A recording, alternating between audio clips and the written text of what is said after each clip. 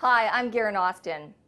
Multi-screen video, or TV Everywhere as it is also called, is the future of television as cable operators, their competitors, and content providers all race to build the infrastructure necessary for delivering any program to any device at any time and over any access network.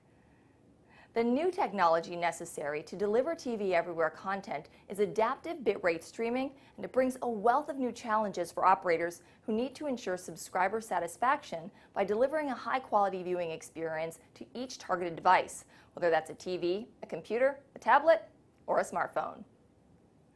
Tektronix says its multi-screen video monitoring solution helps service providers employ a comprehensive approach to ensuring video quality throughout the ABR network.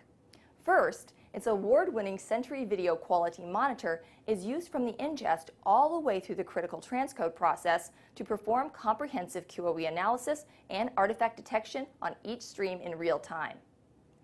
Next, Tektronix's new solution, Sentry ABR, focuses on providing QoS monitoring after the content has been fragmented and encrypted.